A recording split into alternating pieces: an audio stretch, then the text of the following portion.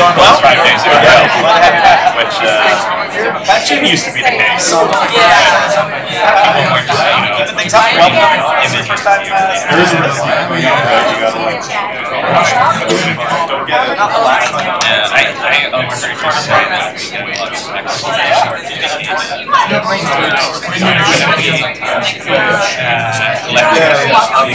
All right, everybody. I think we're going to get uh, started. Everybody hear me? Testing, testing. Can everybody hear me? Cynthia, can you can you hear from virtual land? Yes, in virtual land, a little louder would be good. Perfect. How about now? That's good. All right, perfect. Well, good afternoon, everybody. Um, it is so great to see so many uh, mentors, um, colleagues, friends, and my name is Leland Lazarus. If you don't know me, um, I serve at Florida International University's Jack Gordon Institute of Public Policy, uh, specifically focusing on national security and, and China and Latin America affairs. And really, we can't uh, choose a better time to talk about this topic because it is in the news right now. Right? Everybody, of course, saw the Wall Street Journal article about how Cuba allegedly allowed China to have an espionage base uh, right near the U.S. Um, and regardless on what you think about that, uh, it's just one more example of China's growing influence in this region. Actually, there's a Chinese saying which is uh, 冰冻三尺非日之寒 which translates to uh, three blocks of ice has not been frozen um, in a day. Right? It takes a, a, long time for, for something to happen. And it's just like that here in this region. Over the past 10 years, um, 22 countries are now signatories of China's Belt and Road Initiative. I say 22 because just yesterday, the president of Honduras, Xiomara Castro, in Beijing, signed on to the Belt and Road Initiative. So that's 22 countries now, which means that now uh, seven of the 13 countries in the world that recognize Taiwan are in Latin America and the Caribbean. And you see China's interest growing in this region from trade to renewable energy to dual use ports to law enforcement and even potential military engagement. And so we have incredible legends and experts uh, in this field of China Latin America relations to talk about all of this uh, with us today and really help us think through the implications of China's growing influence in this region, implications for Latin American and Caribbean people, and implications for U.S. national security. Uh, but before we do that, uh, I first want to give the floor to Dr. Shlomi Dinar, who's the Dean of the Steven J. Green School of International and Public Affairs and a professor of the Department of Politics and International Relations. Dean Dinar's research includes international environmental politics, security, and negotiation, and he has been a part of several consultancy projects with the uh, World Bank and other international organizations. Dean Dinar, the floor is yours.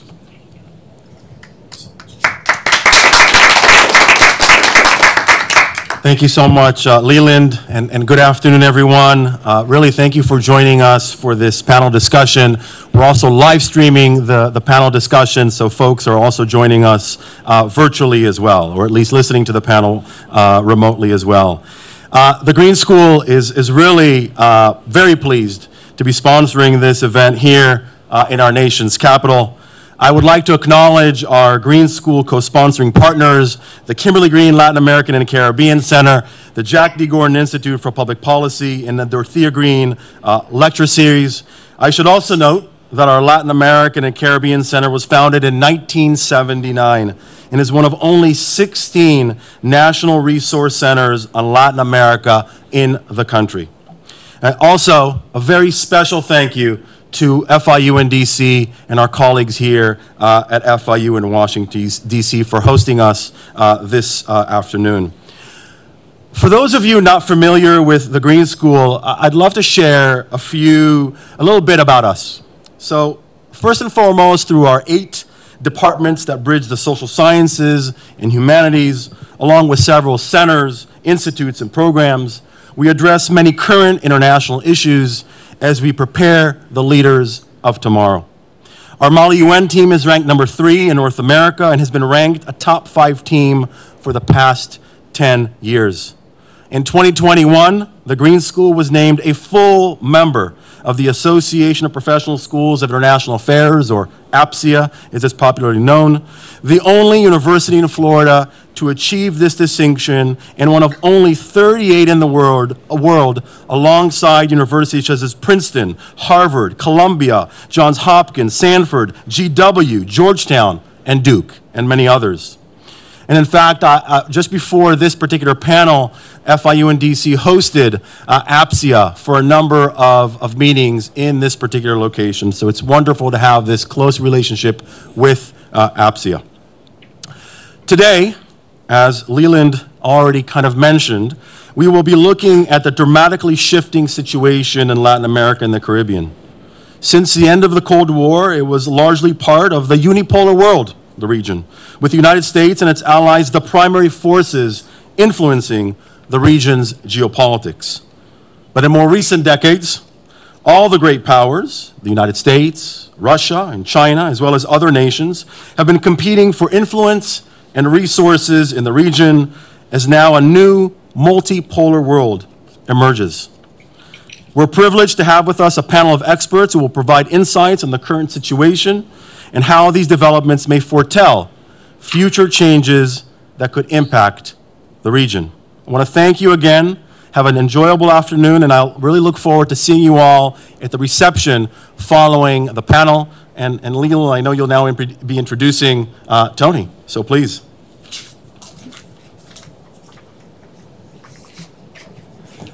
Now I'd like to ask for our uh, panelists to come up uh, and also introduce our moderator for today, Dr. Anthony Pereira. Dr. Pereira is the director of the FIU Kimberly Green Latin American and Caribbean Center. And before this, Dr. Pereira founded the Brazilian Studies Institute at King's College of London. Um, he has an illustrious uh, background. He was previous Fulbright and Fulbright Hays Fellow. Uh, he got his master's and PhD at Harvard, and uh, there's no better um, professor to lead us in this discussion than Dr. Anthony Pereira. So, sir, the floor is yours. Thank you, David. Um, well, welcome to Great Power Competition in Latin America and the Caribbean. I think this is a topic that would have been very familiar to people in Washington 100 years ago, but they would have been talking about the British and the Germans and the French not the Iranians and the Russians and the Chinese. So, um, you know, come full circle. Uh, I want to thank the panelists for being here. It's a great team. Um, Admiral, to my right, Admiral Craig Faller is a senior fellow in the Green School of International Public Affairs at FIU. You're flying the flag for us, thank you. Uh, you're a distinguished fellow at the Atlantic Council's Adrienne Arsht Latin American Center and um, also at the Scowcroft Center for Strategy and Security and uh, Admiral Faller is also a senior fellow at the National Defense University and is on the advisory board of the Penn State Applied Research Lab.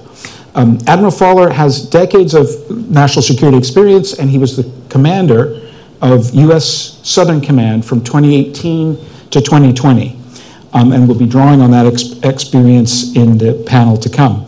Um, on the screen, Cynthia McClintock is a professor of political science and international affairs at the George Washington's Elliott School of International Affairs. That's one of the APSIA members, I believe. And her experiences, her expertise is Latin American politics, U.S. policy towards Latin America, Andean affairs, and Peru. Um, Professor McClintock has received fellowships from the U.S. Institute of Peace, Fulbright, SSRC, Woodrow Wilson Center, and in 20, 2008 received the Orden del Sol de Peru, the Order of the Sun of Peru, awarded by the Peruvian state for extraordinary contributions to, to Peru. Um, in, in the middle of the panel, Margaret Myers, I mean, I'm not forcing you to be in the middle necessarily in the issues, but just where you're sitting, uh, is the director of the Asia and Latin America program at the Inter-American Dialogue. Um, Margaret established the Dialogues China and Latin America Working Group in 2011 to examine China's growing, growing presence in Latin America and the Caribbean, and also developed the China Latin American Finance Database, um, before that, she worked for the U.S. Department of Defense, uh, and it, it, was deployed to the U.S. Navy, and uh, has also um, worked for, uh, set up one of the first country's first Mandarin language programs. Um, so I think has shares a talent with Leland for, for Mandarin. And at the end of the panel, Ryan Berg is director of the Americas program and head of the Future of Venezuelan Initiative at the Center for Strategic and International Studies. Um, he's also an adjunct professor at the Catholic University of America. Um, he's also involved with the University of Oxford's Changing Character of War program and also studies Latin America's criminal groups and the region's uh, it, the role of criminal groups in the region's governance and security challenges. So I think it's a it's an extremely well prepared panel, and I wanted to just go straight into it uh, with a first round of questions, um, asking starting with Admiral Faller, Um, you were the Southcom commander, and you've stayed abreast of, of events in that region. What what would you say about the strategy of China and other relevant great powers in Latin America and the Caribbean right now. Thank you, Tony, and, and thank you to FIU for hosting this discussion on something that's so important. The national defense strategy and national security strategy in 2018 were so important because it recognized that we were in a competition. And that allowed an alignment and a dialogue on what to do about it. It also I think for those of us that were practitioners, and at the time I was in the Office of Secretary of Defense and his, on his staff as his senior military assistant, we were allowed to, to articulate what we had seen developing really for, for decades. Uh, that's important. These documents really set the tone. And it talks about competition, particularly with the China, and it set us out to really think about the dimensions of competition to ensure we could maintain that lead and ensure that democracy uh, was valued and democracy wins. What I saw throughout my, my three year tour and since is that uh, China is a global power and it's far bigger and larger than economics. It's sort of a running myth I fought for the entire three years. I think it's no different now that we, we hear you. Um, we hear your concerns, but it's economic at its heart. It's economic, but it's economic in all the influence and tools necessary. I'll give you two examples. So during COVID, I was very proud of the US response. We didn't get credit for it. We didn't really want to take credit for it, but we, we were out there with uh, State Department, Department of Defense working together, vaccines, hospital tents, medical equipment for all of our partners, and we far exceeded uh, any other contribution of other nations. You know, we're not counting, but you know, sometimes the number of things does matter. But China got credit for doing more and being there first. I flew into the Dominican Republic. At the time, Leland was uh, our, our, kickoff was on our team, and I, we flew in with a hospital tent and some. We really weren't advertising it too much. Chinese flew in with a branded airplane full of vaccines uh, the same day. Three countries in a row, China delivered vaccines on the same day that the Southcom commander and State Department delivered other goods with a bigger branding campaign. They're clearly after influence. They're clearly recognizing the value of speed. Uh, but along with all those deliveries, there came strings, and there were strings attached. Uh, and uh, we, we tried to do the job of talking about those strings. Sometimes we could, sometimes we couldn't.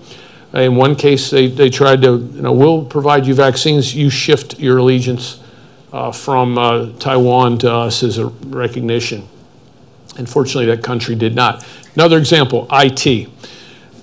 Well known uh, that there's a problem with transnational criminal organizations in our neighborhood here in the Western Hemisphere. 40 to, or 43 of the 50 most violent cities in the world are here. It's a cited fact. And so cities and countries want to do something about it, so they look for the most cost effective security system. China comes along with well packaged systems.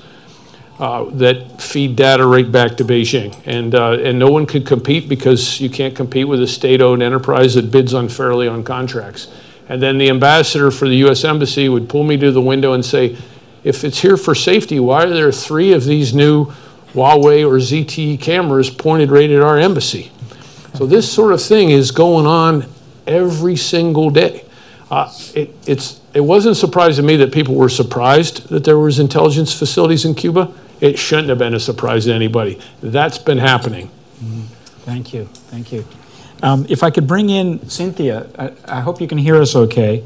You, you're a scholar of Peru and the Andes. From your perspective, what do you consider to be the trends in China's role in the region?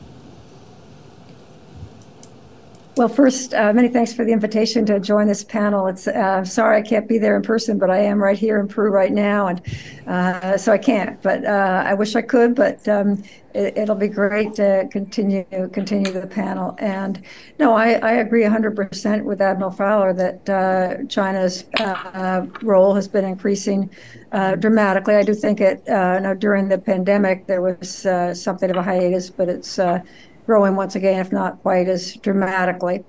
And I agree too that uh, while the, the key uh, goal for a long time has been economics, that economics overlaps with strategy and that there are strategic goals and political goals. And uh, I think that's been very clear uh, you know, for, for, for, for, quite a while. Um, looking at it from the vantage point of you know, South America, the, the I think the biggest change perhaps has been the diversification of China's economic you know, interests. And you know, as the Admiral would suggest, the tendency for those to be becoming more and more strategic. So right here in Peru, I think one of the biggest issues have been the, the ports and the construction uh, of uh, potentially two ports by China and what that would uh, that would mean. I think that's been a major issue, and obviously there's strategic. You know, it's economic, but also strategic, as the admiral uh, would agree. I think in terms of trends. Uh, I'm not an expert on China itself, and you know, Margaret, others can perhaps provide more insights. But my sense is that China is also realizing that um, Latin America is not simple uh, that it's complex and um, working with the Latin American governments is not quite so easy as saying, hey, this is a leftist government and uh, it'll be friendly to us. Uh, I think that uh, China was probably quite optimistic about the uh, election of Pedro Castillo in Peru back in 2021, uh, but then to realize that Castillo was not going to be able to do what China was hoping. I think China has a major interest in in uh, the mines in Peru, and in particular, there's one mine that there's been Las Bambas, which has been extremely uh, difficult for China. There's issues about controversy about the road. I think China was thinking, oh, well, you know, Castillo, you know, he owes us something and he'll solve this problem. Well, he did not solve this problem. Uh, and then the admiral mentioned vaccines. And uh, I don't, again, I don't know exactly what was going on in China's mind, but there was a huge scandal uh, about uh, VIPs receiving the vaccines first. Uh, and I, I, mean, I think that it's interesting. I don't think that, uh, from what I heard on the inside, there was indeed, just as the admiral mentioned, these strings being attached uh, to the uh, distribution of the vaccines. I don't think that came out, knowing the media here, but that is what I heard uh, too. But I don't think, no, in general, I think China is having to kind of come to grips with the fact that um, you know, there are reasons why sometimes U.S. companies are not eager to to go full stream ahead. You know, in uh, in countries in South America where there are you know, a lot of issues, and especially a lot of these raw materials. There are issues of the port has recently had issues. You know, this is not a new story. This has happened in other Latin American countries, but I think you know, increasingly China has to be realizing that uh, it's a complicated, it's complicated politics here. Thank you, Cynthia. Um, Margaret, you've, you've written about the challenge to U.S. competitiveness of the rise of China in the region. What, how do you see it? Yeah, well, thank, first of all, thank you all for the uh, for the opportunity to comment, um, for the special microphone, which, as I understand, gives me karaoke privileges or something of that nature. uh, exactly. No, I, so I, I, everything that I would say, I think, would complement exactly what, what Admiral Faller and, and, and Dr. McClintock, McClintock have already mentioned. So. I see sort of three general trends, probably a lot more than that, but three general trends in, in the economic relationship at present. Um, first of all, uh, I, I, call it a tapering, but that tends to be interpreted incorrectly. We are not seeing China leaving the region at all. If anything, we're seeing, you know, a much more focused effort to engage, in, especially in specific geographies and in specific sectors. But a tapering, if you look at kind of the overall uh, statistics, whether on trade or investment or finance, and especially in the financial realm, trade continues to underpin the relationship absolutely, based on China's food security, energy security, and supply chain security interests, right? Um, and in many ways, at least I, I, feel this is the case, is contributing to so much of China's influence, economic influence in the region when you have China as your largest destination, most important destination for the vast majority of your of your products, even if they are primary commodities, then, then you tend to make decisions based on uh, you know China's interests, or at least try not to rock the boat. Um, on the investment side, or rather on the finance side, we see, you know, we've seen a rapid drop in China's uh, state-to-state lending, sovereign lending on the part of the policy banks, China Development Bank, China Exim Bank. But that's been accompanied also by an increase in finance from other sources, right? We've seen finance coming from the companies themselves. We've seen the commercial banks, Bank of China, ICBC, playing a really critical role uh, and really focusing their investment again. Um, and then we've seen, uh, you know, finance also coming from a number of different multilateral sources. And indeed, that's a big focus right now for China is working with a wide range of multilateral development banks to work on project development. So at the very first phases of, of the project and, and really getting in there when things get started. On the investment side, we see ups and downs. There's no clear trend one way or the other, whether we're talking about mergers and acquisitions or greenfield. But what we do see, and this is my second point, the second trend, is a real focusing, a focusing of investment on those sectors that China deems most critical to its economic growth. Uh, China has called these in the past new infrastructure. That's a term that's not been used with as much frequency now, but nevertheless, this encompasses all things innovation, right? All things tech we tend to think of ICT and Huawei and surveillance technology, but it can also be high speed rail or ultra high voltage transmission lines or really you name it, anything, you know, data centers, all of it. Um, and then beyond this, and related to this process of focusing, is a process of, uh, of localization. And so, you know, China engages at all, all levels of government, including at the regional level through mechanisms such as platforms such as the China CELAC Forum. Uh, bilateral engagement has been a feature of the relationship since the very beginning, since two decades ago, right? But increasingly now, and because of, you know, some of the political shifts, for example, that Cynthia mentioned, um, there is an effort to engage at the subnational level far more extensively to get deals done. It also, in part, because some of these, you know, deals are indeed struck at the at the subnational level. If we're talking about lithium, uh, you know, uh, Argentine provinces have a lot of authority over over what happens. If we're talking about smart cities or safe cities, same is true. You go to the municipalities. You may have to get buy-in from the government, but you go there first. So these are sort of the these are the three trends I'm seeing. They have wide-ranging implications for the competitiveness of U.S. firms, of, of partner nation firms, um, and then just two other things. This is an inflection point. I'll also say that. This is a moment when the region is coming out of a crisis. By all metrics, it's doing really badly, and China is bringing to bear a lot of resources in sectors that these countries, these even municipalities deem most critical to their economic growth. And so it will be a matter of, you know, seeing how these things match up. At the same time, and I think Cynthia mentioned this as well, we're seeing a rethinking in China about what is risk how to characterize it, how much, how many resources can be brought to bear in support of certain projects, whether they ought to be, uh, what kind of projects generate the quickest and biggest revenue. So a real rethinking of risk, which also will affect, I think, project development looking ahead.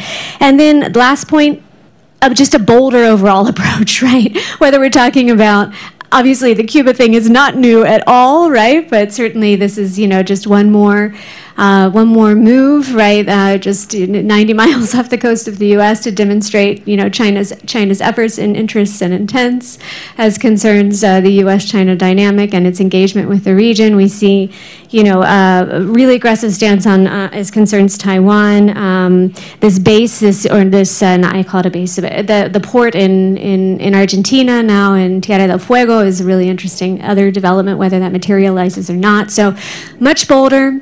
We used to see what was it, 10, 10 years ago, eight years ago, a lot of writing about, oh gosh, should we bother the U.S.? I don't, we don't want to cause any sort of reaction. You know, we shouldn't do the, shouldn't do this investment. That era is over, absolutely. Uh, and in fact, you know, we moved far beyond that. So I'll leave it at that. Thank you. Thank you, Margaret. Um, Ryan, you've written a lot about Chinese strategy in the region, the rising influence of China, including on the issue of Taiwan you know, trying to persuade the seven states in the region that still recognize Taiwan diplomatically to switch sides. What would you add to the to the discussion um, in terms of understanding uh, the Chinese strategy in the region? Well, uh, this actually dovetails with a conversation that I had with someone in the audience this, uh, just this morning. Uh, but you know, it's it's true. We still have seven countries in in the region, uh, four in the Caribbean, two in Central America, one in South America that rep, that recognize Taiwan diplomatically. Uh, marry that with the 22 countries that have signed on to to the BRI.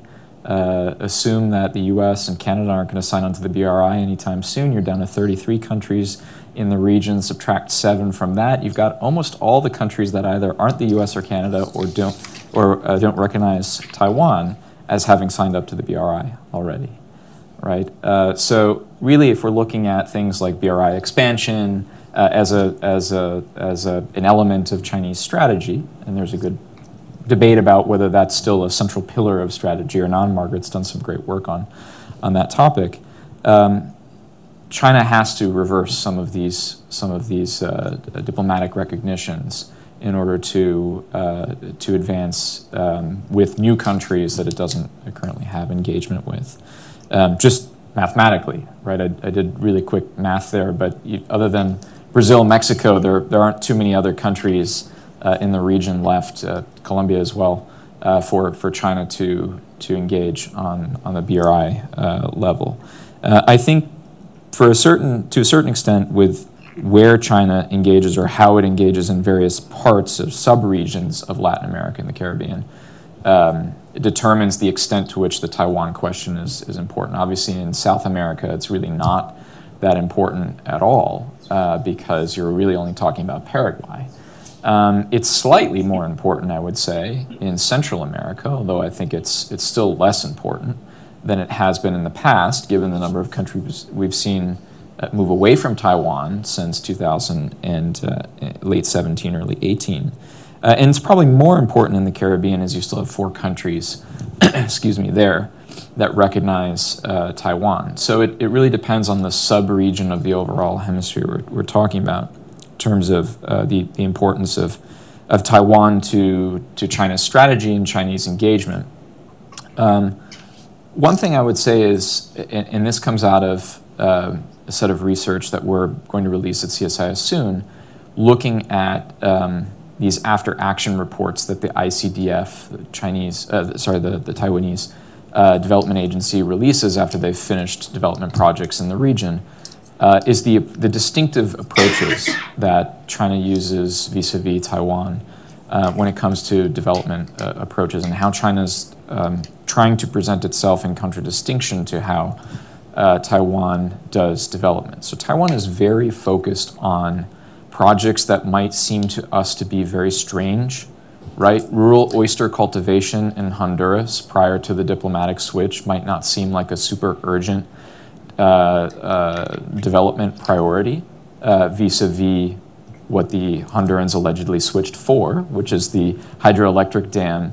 Um, so but what they're doing is they're very, very focused on not getting into a, a competition over resources, right? Over who can spend more money on flashy infrastructure. Taiwan has a very clear message in all of its development projects in the hemisphere, which is if you're interested in human capital development, if you're interested in uh, healthcare systems and digitalization of your economy, and in rural sustainable agriculture, we're your better partner.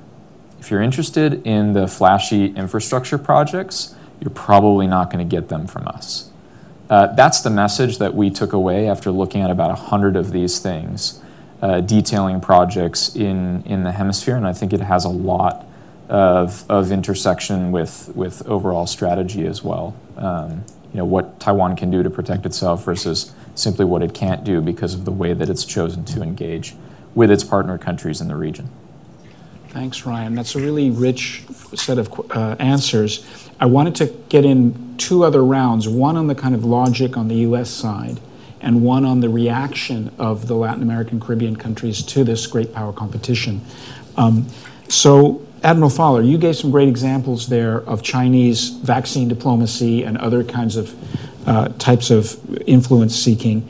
What do you think the U.S. response should be? Uh, first, I'm going to put a plug in for Ryan's uh, recent report, Insulate, Curtail, and Compete.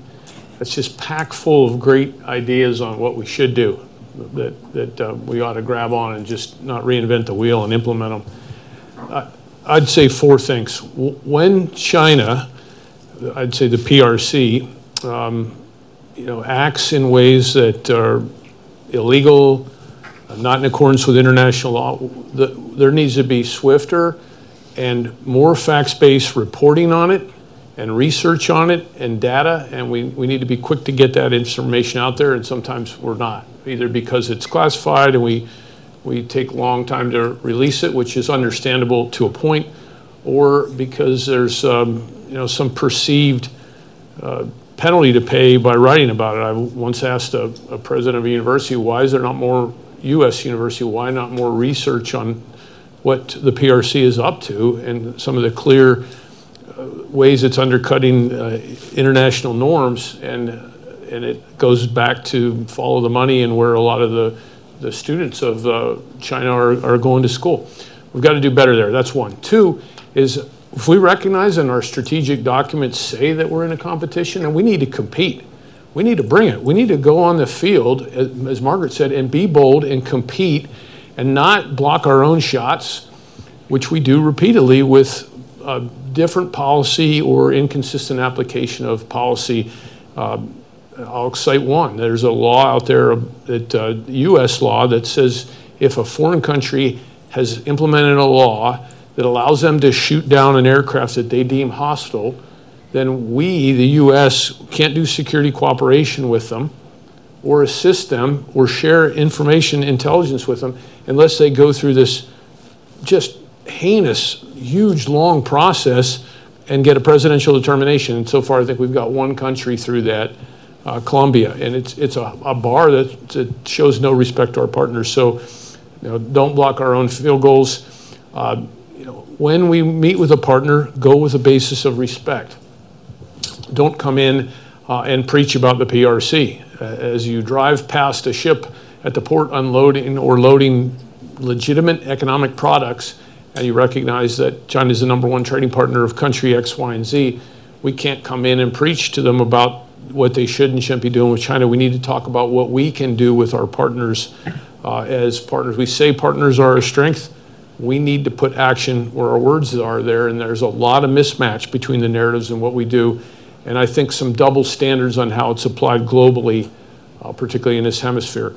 And then the fourth, you know, one, shine a light on the PRC. Two, stop blocking our own shots. Three, be a good partner and reliable, respectful partner. And the fourth is engage. A little goes a long way. At one point during the, uh, the 2021, uh, I noted 13 different engagements by President Xi with countries just in the Caribbean to one by our own president.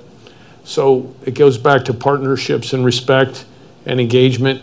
engagement matters. Thanks, Admiral Faller. Um, Cynthia, how do you, how do you see the U.S. role, either what it normatively should be in your view, or or what you actually see um, U.S. the U.S. state doing. In, Could you, in I can't hear you very well. Yeah, I just wanted to follow up with a very similar question to the one I asked Admiral Faller. Um, how do you see U.S. policy in this great power competition?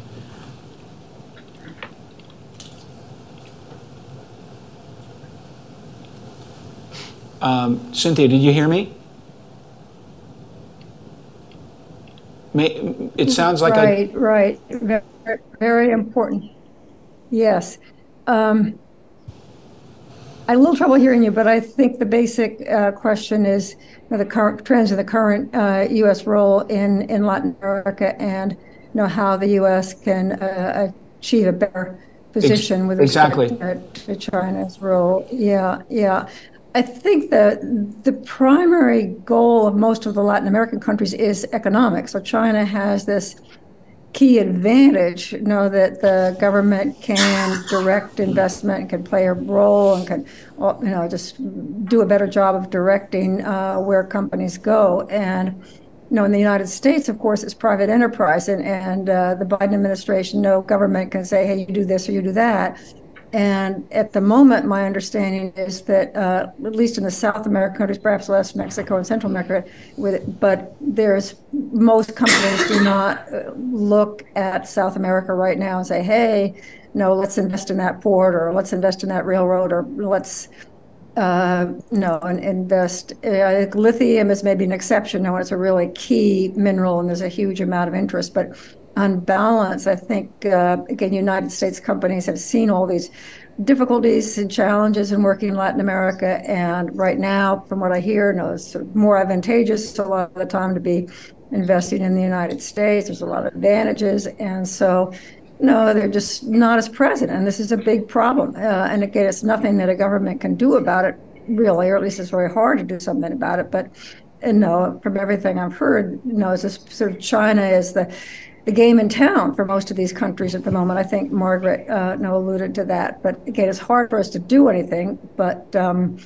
know, it's an issue and something that we need to think about and how we can counter that. Uh, I agree with Admiral Faller that um, to the extent that the United States uh, is engaging and is engaging in other ways, that you know, there's very little publicity there, and I'm not quite sure what the reason is. I'm going to address that a little bit uh, larger. I mean, I think right now, for example, there's preparation of, you know, sort of uh, military training here in Peru by the United States, and you know, I've been here 10 days, It got a tiny little mention in one of about 20 periodicals. This is not very much at the forefront. I think there are also new donations from USAID for, uh, you know, for the dengue um, calamity here, other uh, donations, and none of this receives much um, much publicity. And I think it's important, I mention this later, that sort of countries like most of the South American countries have so many problems right now, they tend to be focused uh, on what's going on internally. But you know, it would be great if the United States could, you know, do a better job of reaching out and engaging, and you know, the fact that you know the United States did ultimately provide a lot of vaccines, et cetera, uh, you know, would be uh, would be very helpful. Uh, I think the United States has to be very, very careful about, you know, not pushing too hard. I think the admiral got at this with not shooting ourselves in the foot, but no, they're you know talking about you know from the standpoint of a lot of the Latin American countries, they see you know Huawei is extremely cheap, which it is, and so they want it. And it's for the United States to be saying no, you can't do this. Uh, it's seen as harkening back to an era when the United States was, you know, pushing its weight around too much and no, this is, you know, the, the Latin American countries want uh, their sovereignty, and, and uh, it's just, you know, all of these memories of past uh, U.S., you know, being heavy-handed, it, it, reminds them of that, and so it makes it very difficult for the United States to kind of call countries on, you know, when there are things that we would like them to do that they don't really want to do, because, like, say, in the case of Huawei, it's just so much cheaper. It's just not uh, economically feasible, really, for most of them to be sort of backing away from Huawei. So, so those are some some uh, things. It's, it's, challenging. It's a very challenging time because on the one hand, uh, I think in the United States there's this huge recognition that it is an important, uh, increasingly important, increasingly urgent uh, strategic competition. But on the other hand, for the Latin Americans, it's kind of uh, let's see what how we can uh, improve. And you know, they're not looking at it and saying, "Oh, this is problematic." Really. Thank you, um, Margaret. So there's the sense that there's this competition, but it's asymmetric in some ways because of the different systems on, on both sides. What do you think could, could be done more effectively on the U.S. side? Yeah, so I mean, we are at a we are dealing with something of a paralysis right here. uh, especially as concerns trade, right? There's not a lot that we can do on that front. Most of our investment related or other form, you know, engagement initiatives are, are, uh, are based on or intended to be private sector led. Um, and that's problematic because there have not been a lot of incentives, at least for certain industries, certain companies to invest in certain parts of the region. So, I mean, with all of this in mind, we have to think what we about what we can do within these constraints. And again, Ryan wrote this amazing paper, so I'm going to try and be complimentary here and not not repeat anything that Ryan's probably. The panelists to say any of this. no, I don't want to repeat anything, so I'm going to try and see if I can't add something to it. But first of all, I mean, when these are private sector led initiatives and the private sector is not going, we have to ask ourselves why, right? And so, a first sort of thing is to address those barriers, right? And that's not an easy thing to do. This is not a short term solution, but obviously, working with governments to try to um, you know, to address the concerns that, you know, companies that are really rearing to go, they're thinking about nearshoring. They want to, you know, establish themselves in the Americas to export to the Americas. They've thought through the process, and yet they're not doing it. So why? So we have to identify those barriers, and over a period of years, obviously, this is not this is not short term, work to address that to whatever extent possible. I think we also need to think about not creating new administrative barriers or work for our partners. Um, you know, there a lot of what we're trying to do now, because we're working within certain confines, um, is to you know to expand upon existing agreements, to think about ways that we can expand customs-related cooperation and other sorts of you know. Um, reduce trade barriers and do other things and and uh, you know all kinds of, of, different initiatives are being proposed um, and I, I applaud those efforts to try and do something but we want to make sure we're not just creating new work for our partners for the sake of doing so, and especially if it's not going to be a long lasting partnership necessarily that, that they're engaging in. Um, I mean, focus. We just need to focus. Obviously, we're coming with fewer resources to bear, uh, bringing fewer resources to bear, and um, I think to the extent that we can focus on a handful of initiatives, be it, I mean, obviously there's this new agreement with Costa Rica on the trusted networks, right? And so maybe that's one area of focus. Maybe critical minerals and electrification is another. Um, and again, there can be partnerships with, you know, with partner nations to try to do deals, you know, in these industries and then tie them um, to the Infrastructure Act here, for example, and thereby create facilitate supply chain development. But ways to incentivize more use of U.S. or partner nation, uh, you know, company technologies, products, services, things of this nature. It needs to be thought through. But I think the idea is to focus very extensively on on a handful of of, of critical and emerging sectors. Um, Um, this is, I mean, we have to incentivize new investment, but another issue is divestment. So many companies are leaving. I mean, it's not just that they're not coming, they're leaving. And so a lot of, I mean, the energy assets, right? If we're talking dams, if we're talking electricity transmission, that's because companies have left. I'm not just talking about US companies, but they're shedding Latin American assets from their global portfolios. And so it's a matter of stopping the bleeding, too, right? And then I've always, you know, figured that. Uh, and actually, Benjamin's made this wonderful point, Gedan right here, um, but that, you know, the, the U.S. is very well positioned to add value when you look at the the, our trade dynamics, when you look at the investment that, that U.S. companies do, it's in a much more diverse set of sectors and industries. Um, we do a lot of training, we do a lot of engagement and a lot of technical cooperation, even in ways that China is not doing, despite the fact that it's ramping this activity up, right? So we do add value.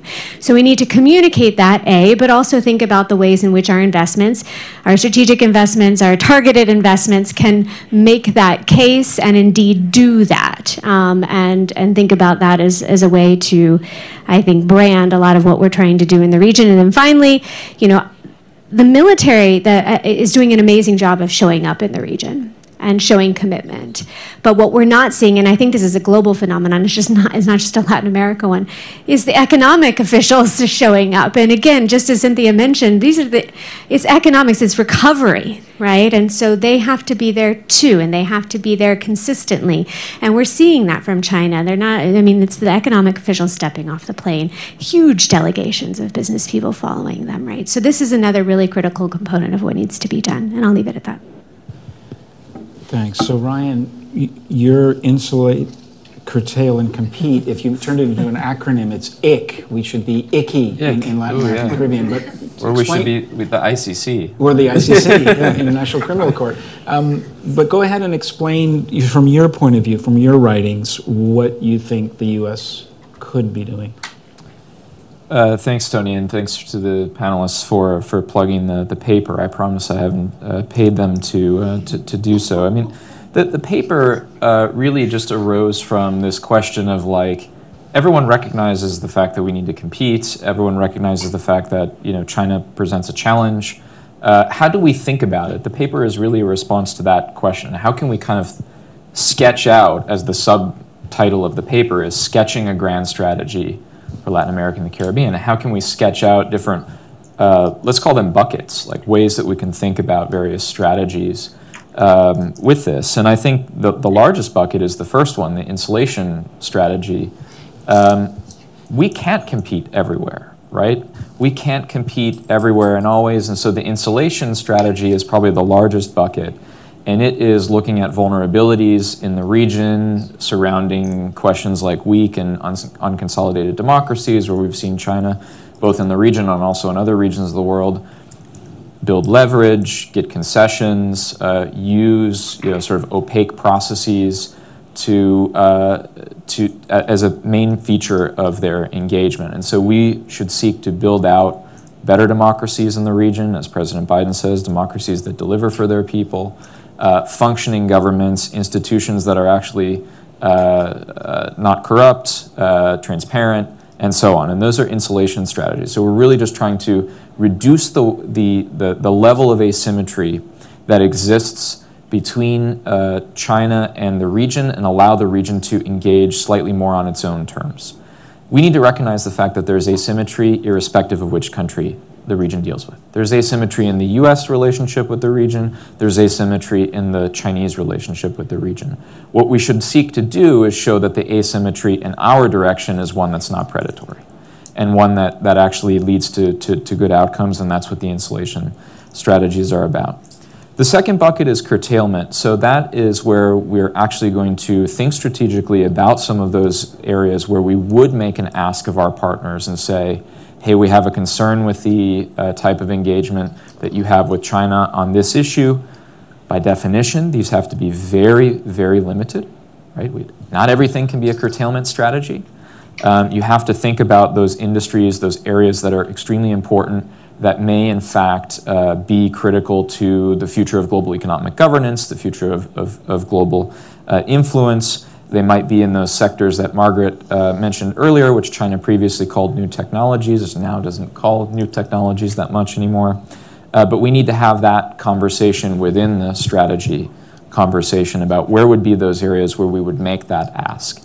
And ideally, then you marry those curtailment strategies with the third bucket, which is competition. You actually uh, take the resources that we have allocated in the development space and the financial and technical assistance space in the US and you actually make alternatives possible so that you're not just making a request of countries in the region, for example, to not go with Huawei. In other words, incur a huge cost to your people, to your population, to your political position in the country just to please the United States. No, you marry that strategy with a competition strategy that actually subsidizes Ericsson or Nokia or another com competitive company that will offer, offer the alternative. So the paper in essence, tries to, to look at uh, these three things as kind of like buckets, you know, ways to think about how we would group uh, various approaches and, and strategies vis-a-vis China in, in the region. And one final comment on the, on the issue of China's sort of uh, semi-capitalist or, or party state, as it's often described, model versus U.S. private sector-led growth. Um, we're at a short to medium term disadvantage right? We can't just point to this large pool of capital as the Chinese can and say, hey, you're going to invest here. Why? Because we say you're going to.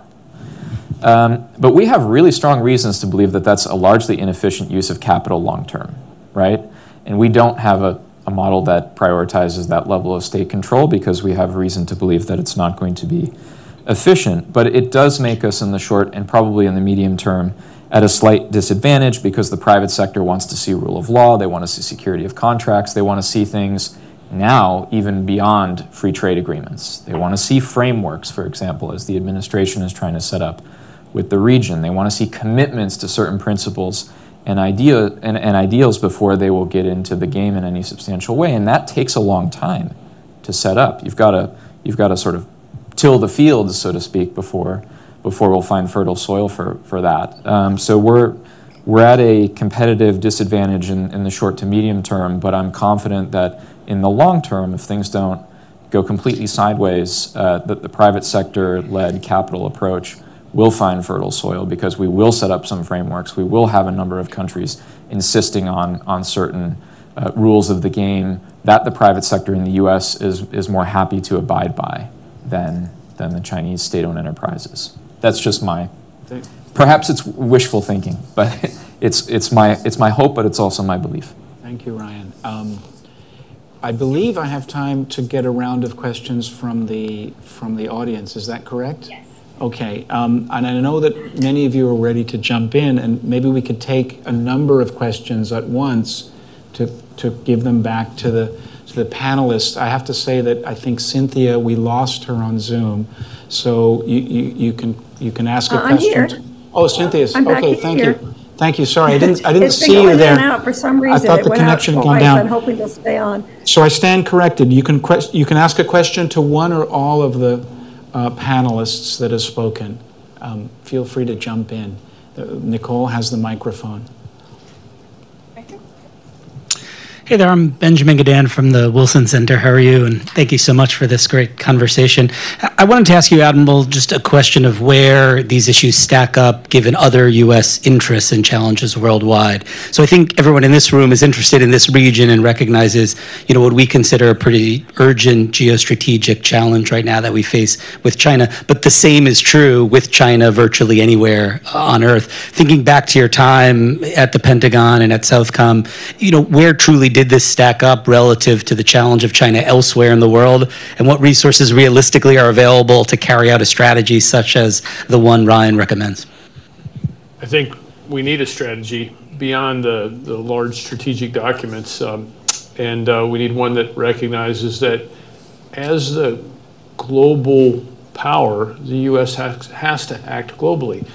And uh, it's unfortunate when we use narratives like pivot to the Pacific or prioritize the Indo-PACOM theater, because that doesn't do uh, justice to what we should be representing, which is the leader of democracy and ideas and education, and there's so much we can do with that. Um, as a combatant commander, it was a it was a daily fight for what I thought was enough resources. And I would say to my boss, Secretary of Defense, look, I'm not asking for more time or attention or money or stuff, that's a fancy word for ships, planes, things like that, than, uh, than what my counterpart in the Pacific wants. I'm just asking for something. We uh, conducted a combatant commander review, which is a lot of words for we're going to look at what your budget is, what you do, and see if there can be uh, things shifted around. And uh, I pointed out to the Secretary of Defense that Southcom was 0.01% of the Department of Defense budget. So we could do a review, but z- I'm a, I'm a math guy. Zero in any math equation is either zero or infinity. That's how I started my brief. Uh, the Sexo has said, I'm not sure what you're saying. I'm saying, sir, you're not going to find much savings at Southcom. We need some more, and I'll offer a few modest reasons and, and uh, areas where we could get some more exercise money, education money, those sorts of things. So we can target resources if we have a global view and invest in those things that are that play to the strength of the U.S. military and frankly that are representative of our society. Uh, and so, yeah, it was a challenge. We, we need to shift the paradigm and think globally uh, and not narrow down to a hierarchy of partners. So certainly, we've got to apply resources where they can best make a difference. We also have to undercome, overcome when we talk to the larger um, U.S. government, to the other policymakers, this sort of lingering suspicion that somehow the U.S. military is seen as a bad influence in Latin America and the Caribbean. There, there is certainly history there that needs to be understood and recognized, but it is history. And uh, there, there's certainly, we have to deal with the detention facility in Guantanamo Bay and some of the unfortunate legacy of that. But I found routinely that there was a lot of respect and that, as Margaret said, thank you, the mil- U.S. military is an action-oriented organization. We're out there like doing stuff and engaging in exercises and education. Uh, our partners care about that. They want to work with us. Exercises being you know, a way they can practice with us. So thank you. Thanks, Admiral. There's two questions in this corner in the room. I think Leland and then uh, on the table, and then maybe we could take a round of these three. Um, if you could be, yeah, fairly concise. Thanks. So my question has to do with um, going back to messaging and continuity, right? So this September is going to be the 10th anniversary of China's Belt and Road Initiative. 10 years of a of a continuous policy that's global. Um, meanwhile, I think on the Trump administration, we had America Crece, and then when the Biden came along, you had B3W, and then you have APEP, right? Uh, America Prosperities of Economic, America, America's Partnership for Economic Prosperity. You know, should we just go back to you know, good neighbor policy 2.0 or, you know, partners of the Americas under the Kennedy administration. What's your viewpoint on that? Could I ask the panelists just to, you know, hold that thought and we'll take a couple of the questions and then you can come back answer. Hi, uh, Michael Paarlberg from uh, Virginia Commonwealth University and the Institute for Policy Studies. Um, recognizing the limits that we have compared to China, China, you know, is able to direct state resources. Also, um, China is willing to do business with anyone, um, including dictatorships that we may be, uh, you know, more reticent to uh, to do business with. Um, but also thinking about some of the historic limits that we've had. We tend to look at Latin America through the lens of basically drugs and migration, and as a as a region of unwanted uh, drugs and people, basically. And China generally does not have to see the region through that lens. But there's a flip side of that, which is that we have um, a certain amount of uh, soft power and and a lot of links. And um, I'm wondering what kind of soft power things we could be doing and putting into action a little bit. I mean, just as an example, Central America, the region I, I study, um, foreign direct investment is between one and two percent of the GDP. So when the vice president is putting you know whole plans like get Coca-Cola to invest in El Salvador, I just I don't. It's a drop in the bucket. It's not going to make a huge difference. What's 25 percent of the GDP in these countries? It's, mm. it's remittances, right? And those are coming from the U.S. It's coming from people with family members there, and that creates a great deal of not just you know it, it gives uh, an economic uh, boost to the countries, but it also creates soft power. Uh, for the U.S. So, are there ways that the U.S. can can leverage that? Yeah. And just just one more thing, uh, addendum, given the, the drugs thing. Uh, this is something I don't know. What is the role of China in terms of uh, facilitating corruption? Uh, one thing I'm, I'm, worried about is, particularly with El Salvador, the country I focus on the most, there's just a lot of uh, uh, questionable flows of money. Um, and I, I, imagine that a lot of the motivation to engage has some uh, illicit sides to it as well. Thank you, Michael. If we could just take one final question and then I'll throw it back to the panel, give you each a chance to respond. Uh, thanks to the panelists. I'm uh, Larry Thachton and I uh, consult, write research on Latin America. Uh, coming back to the sort of BRI question, and and I wonder what the panel's view on is to the extent to which that people in the region are realizing this is not a relationship of parity, and not even close to being that. Because if we look at the countries that are not in it, it's not just only U.S. and Canada; it's also the other two big uh, economies of the Western Hemisphere, Brazil and Mexico. In Brazil's case, uh, obviously BRICS provides that kind of relationship of parity with the development bank and everything everything else.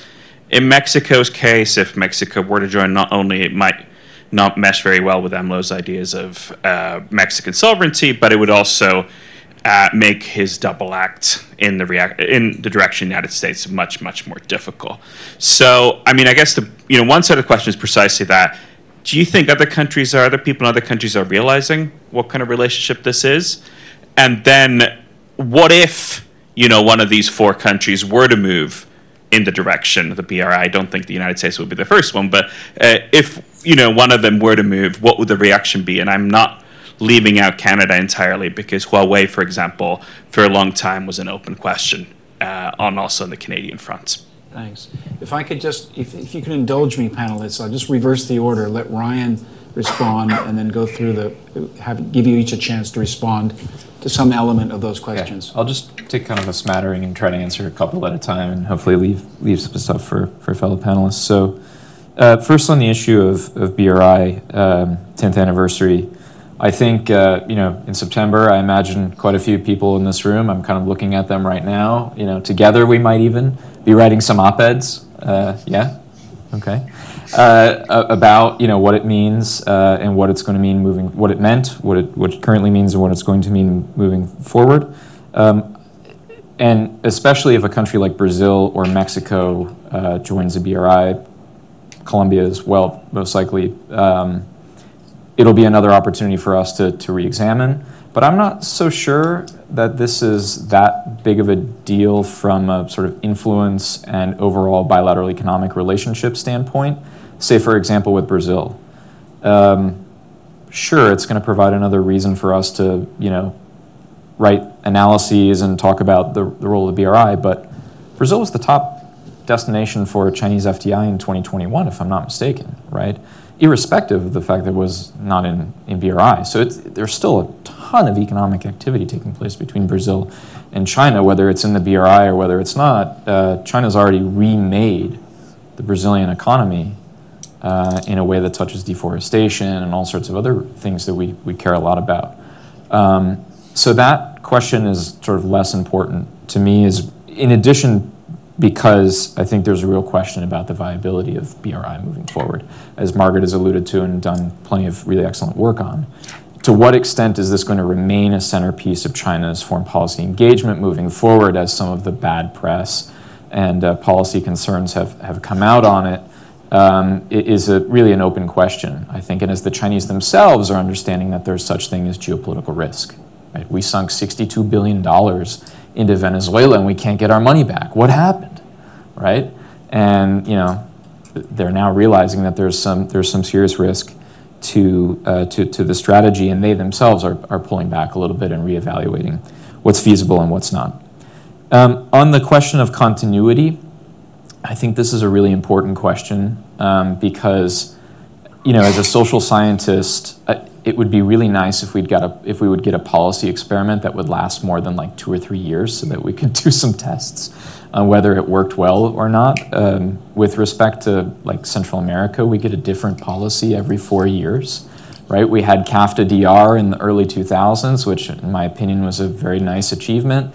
Uh, but ended up entrenching to some extent uh, ruling elites and insular uh, business class in, in much of Central America. Then we tried in the Obama administration during the child migrant crisis to go with a really impressive uh, humanitarian aid package, $3 billion. There wasn't enough civil society in the country to absorb all that, uh, in the Northern Triangle particularly, to absorb all of that money. Then in the Trump administration, there was a, a more punitive approach taken. Some of the aid that had been passed through appropriations was taken back. Uh, and then later in the administration, there was the idea of America Crece, there wasn't enough time for, for that to really get off the ground in any meaningful way. Uh, and now we're back to an approach that's looking at foreign assistance married with the Partnership for Central America, so public private sector investment. We've got a more impressive top line number. We went from three to you know four billion in discussion. But we have this like whipsawed approach, and a lot of it has to do with, with politics, domestic politics in the US.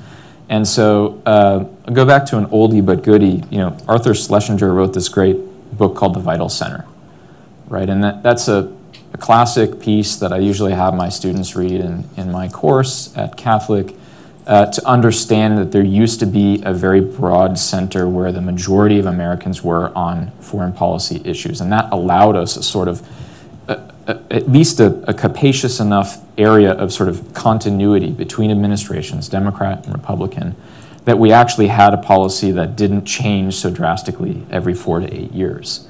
Rebuilding that, I think, is going to be vital to actually having policies that can work and can and can have any sort of duration that um, resonates with the region. The region knows every four years we're pulled in this direction, then we're pulled in that direction. It makes it really difficult to have any kind of meaningful, deep engagement over time.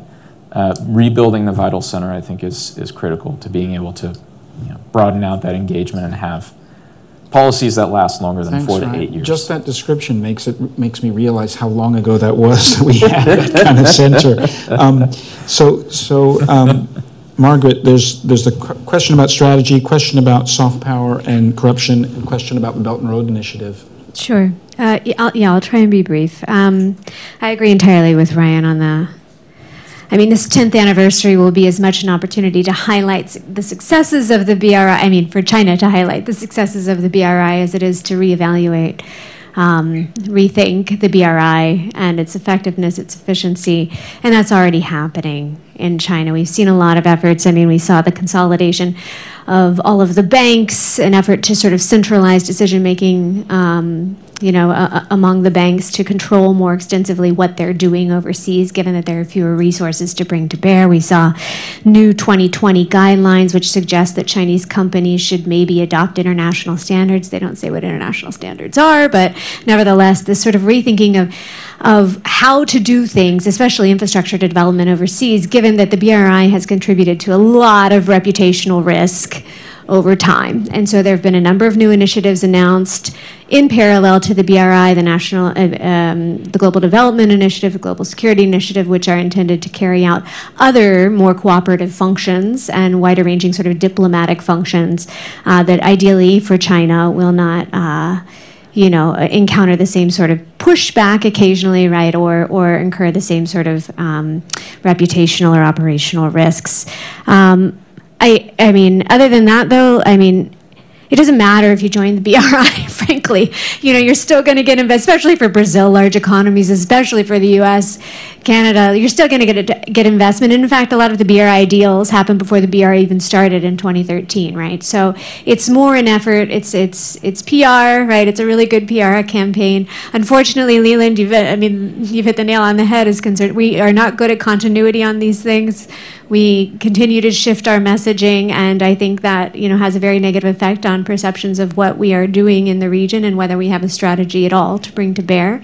I don't know what how to approach that, but uh, but you know it is problematic the way that we message on our own you know initiatives in in the region. Um, soft power. Uh, yeah, I mean we have considerable advantages. I think in this in this respect, we need to bring them to bear. There, there are so many things that I could mention, but one is that you know China has really upped its game on area studies. It is reaching out it, in unprecedented ways to universities across the region, establishing all sorts of networks, providing grants, providing um, scholarships, donating entire centers. I, I, there was one uh, friend of mine at, at uh, University of Chile that said, you know, the Chinese came and they said we can have whatever we want. What should we do? And I thought, oh my gosh, you know, well, what do you do with that? Especially if you're a university that needs some things, right? And nothing is there. There's no such thing as free. Um, and so, I mean, this is what we're dealing with. And there's also a strategy well defined by Xi Jinping and others, including the Ministry of Education, uh, to be the top provider of international education, especially for the global South, right? There are these policies underway, and so competing with that, as we shouldn't be reactive, right? Always, we should have our own strategies but we do have wonderful mechanisms in place, Fulbright and others, right? To, and we need to reinforce those, re-up those, encourage, you know, um, these programs to, to continue operating in really effective ways across the region. And this is just one area that I can think of, but there are lots of others. Um, and then on corruption, I mean, look, yes, I mean, there are plenty of examples of this happening of, you know, shopping trips and, and bags of money and, and all sorts of anecdotes, you know, that circulate and, um, one issue here is that it take I mean corruption is pervasive in much of the region, regardless of China's engagement, right? So it's a bigger issue, and especially as concerns infrastructure development. You talk about big infrastructure projects, or there's likely to be a problem with corruption at some phase in the development. I mean, Odebrecht is a perfect example of this, right? So it's not a purely China China problem. The issue is that China doesn't have the same views of corruption as as many others do. They don't have a Foreign Corrupt Practices Act. They see corruption as greasing the wheels, as facilitating investment. And so, you know, are, are, are keen on making things happen. And if a few gifts and a few trips and uh, some kickbacks make it happen, then all the better. Um, and so, uh, but again, uh, this depends largely, it's a two to tango situation. It depends on the regulations in place in countries and the extent to which they are enforced. And again, these are two very different things, right? So, they have to be there and they have to be enforced. And when that happens, you don't see as much of the, this, this problem. Otherwise, you know, it can be really quite pervasive and, and a huge problem and uh, with broad effect on wide-ranging stakeholders. And I'll just stop there. Thanks, Margaret. Um, Cynthia, I'm glad we didn't lose you. Uh, you, you. I no doubt you heard the questions. You, you're free to give some final reflections on the themes that were brought up with the questions. Yes, well, great, great questions. And I would say, uh, first, you know, it's important that the United States not not overreact, no, not resort to, to heavy-handedness, because, you know, both in the questions and I think it was was was Ryan. Uh, we do have a lot of prestige. We do have a lot of soft power, uh, you know, in the region. When I'm in South America, I mean, many people want to go to China to study, and I agree with Margaret that more uh, educational opportunities in the United States should would be terrific. Uh, but you know, people still really prefer the United States, and people don't know Chinese. It's a very different country for them, and there's a lot of networks in the United States. And I think, as Ryan mentioned, you know, over the longer term, uh, the United States model will work better. And following up a little bit on Margaret, I think, uh, at least in Peru, maybe not in the authoritarian, more author- the authoritarian countries, but but here, you know, China is being caught. Uh, you know, smoothing the way, greasing the wheels does get it into trouble. It does hurt its soft power. Know, and I think people, my own impression is that, you know, people in South America, one, they're not all that informed, but to the extent that they're informed about the issues, they, they do see this as a, you know, they don't see China as, you know, this wonderful, benevolent country. They're aware that great powers have their interests. And, you know, so again, for, for the United States to have a little confidence that, um, no, we, we have a lot of strengths. I, I would a couple of things I would suggest. I was saying I think again to some of the questioners were suggesting it, uh, working on our situation at home and uh, one set of rules that is tremendously confounding to me, and probably the admiral would agree with, is that you know we, often we don't have ambassadors in all the countries, even because they're being held up in the Congress. So if something could be done in that, maybe longer terms. I was thinking, you know, in order for us to achieve quote branding, you know, we need ambassadors who have good connections with media folks, and to do that, we need ambassadors who've been around for a while. So maybe know, trying to extend these terms, getting people who are really in place and can uh, get some of the good news out there a little bit, you know, uh, better. Thank you, Cynthia. Admiral Faller, it's your. I'm smiling and cringing both at your comment on Ambassador. After one Senate hearing, uh, Senator, uh, Senate Armed Services Committee came up to me and said, Admiral, what would you recommend for a grand strategy? I think Orion and grand strategy along the lines of um, you know, Latin America. I said, Senator, confirm our ambassadors. Pass a budget on time and be consistent. And they, what do you, what do you mean by that, Admiral? I'm like, uh, okay. so to, to address the points here, we, we um, in the military, we're taught to you know, confuse and deceive our enemy, not ourselves. Our changes in policy and strategy every year and not passing a budget on time to Leland's very thoughtful question argues for some consistency and simplicity uh, so that we can understand it, the practitioners within the, the US, and, and certainly maybe we'll have a chance of having our partners understand it too. On soft power, double down on education. It's what we do. We do it well.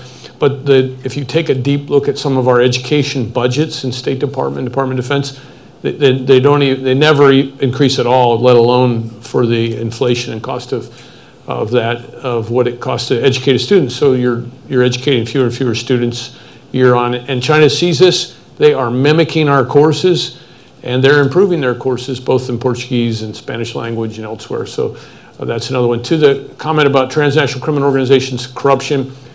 Before I took the job as Southcom commander, I would not have listed corruption as one of the top threats. Certainly is one of the top threats. It is what fuels transnational criminal organizations, which drives the instability here uh, in this hemisphere, our wonderful neighborhood. Uh, and it's not just drugs that the transnational criminals feed off of, it's everything and drugs. So, whatever, extortion, um, you know, bribery, human trafficking, so on. One of the primary sources of revenue for transnational criminal organizations Chinese money laundering. There's a lot of cultural similarities to what transnational criminal organizations thrive on and what the PRC thrives on. And Margaret made that point quite well. We need to do more to educate people on that and illuminate it, the facts associated with that uh, when we get them. I just wanted to, we, we're about out of time. I know that Carlos uh, is going to give us some final remarks, but I wanted to thank every member of the panel for very thoughtful comments. I know a lot of us are going to be following what you write and what you say in the next months and years, um, given your knowledge of this, of this issue. Thank you.